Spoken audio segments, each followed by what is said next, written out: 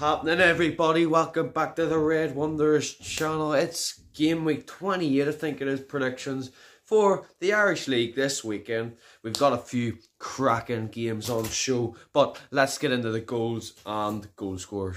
Into the first game we go, we've got Larne versus Glenavon. Now, this is on a Friday night at quarter to eight. This should be a cracking game. Glenavon are a bit of a mixed side this season. They've just been a bit on and off. Pete's, I think Pete said something about them coming fifth, or no, they'd be the closest team to get into the top six. But anyway, Larne have been cruising. They beat Linfield on penalties on Saturday to get into the next round of the Irish Cup, and Glenavon got beat by the Welders at Mourneview Park. Now, I think I've got something wrong with this Gary Hamilton subbing him on, self on every game. He's obviously not fit to play, but don't know what he's doing. I'm going to go for an easy 2 0 win to Larne. I think it's Addenbrooke Park. Obviously, they play on a Friday night because it's Larne and don't get any other fans at games. Uh, 2 0 goals coming from Miller and Bonis. I'll go Bonis. Been one of the best strikers in the league this season. Miller if you've seen the team this season video, he's been in my midfield. But let's get into the next game.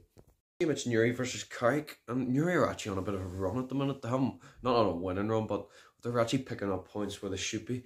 They drew with Larne nil nil. That was a huge result. Carrick drew with Derry last week in a friendly one each. That's a that's actually a decent result because they looked like they were playing their actual team. But um, Carrick are the same as Glenavon. They just have not been beating the teams that they should be beating, and they're getting decent results against the big six. Like if you look, they beat Linfield, they beat or they drew a Cliftonville, um, they drew a Larne as well, and they, they beat Crues. But anyway, I'm gonna go for. I'm gonna go for a nil nil again in this. Actually, I'll go. I'll go one 0 to Carrick, and I'll go for their new signing, McLaughlin from Coleraine. I think that will be a good signing for for Carrick, and I think he will bag in this game. One 0 for me. Now, moving into the Saturday games, them two were on the Friday night. This is a Saturday. First game up, we've got a pretty boring game. We've got Portadown versus Ballymena. I think it's at the showgrounds as well. Now, Ballymena have been in a financial issue this season. Um, apparently, they've got no money to pay their players up until April, and then it stops. It's because they're employing too many big stars like David McDade, like David Jeffrey.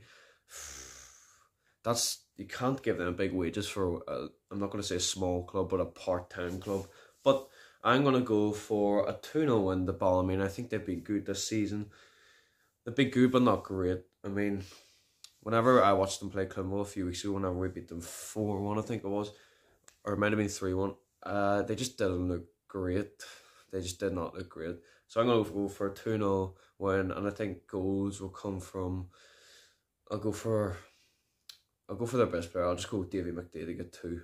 But in the next one. Into the three games left. We've got this one and two other ones. We've got Crues versus Dungannon. I think it's at Seaview.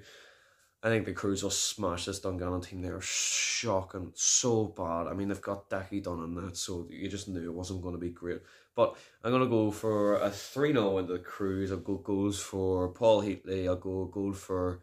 I think Ben Kennedy's back as well. He was playing last Freddie came on, and I think Lowry will get a goal. But anyway, let's get into the next one because that, that game's a bit boring. We've got two huge games on our hand. It's Glentoran against Coleraine. I, th- I think it's at the showgrounds. This will be a huge, huge game. Massive game. Coleraine out of the Irish Cup by Cliftonville by penalties. But Glens into the next round against the Crues. Now, this will be a great game because I think Glens beat them 1 or 2 0 in the start of the season. But that was whenever Coleraine were on a bit of a dip and Glens were on a huge high. Now they're both on form. Coleraine looks solid, solid on Saturday where they were unreal in that second half. Cliftonville were just lucky. But I'm actually going to go for a 1 0 win to the Coleraine. I think this will be Rodney's first. I mean, he had a test against the Crues, but I don't know what the Crues were playing at that day compared to whenever they played us. But I'm gonna go for a a one 0 on the Coleraine, and I think the goal will come from their best player um, and Shevlin. I think he'll buy. Didn't do much last week other than miss a penalty. But anyway, let's get into the last, and I think it's the best game of the week. into the final game we go. It's Cliftonville versus Linfield at Windsor Park. This is going to be a massive game. Massive game. at Windsor Park. And me and Pete are going, and there's going to be a vlog out on Sunday morning. And I cannot wait for this game because Linfield have got beat by Crues, by Glens, by Cliftonville, they haven't beat Coleraine, but at the same time, Cliftonville have beat Linfield, which was unreal. If you want to go and watch that vlog, it was unreal.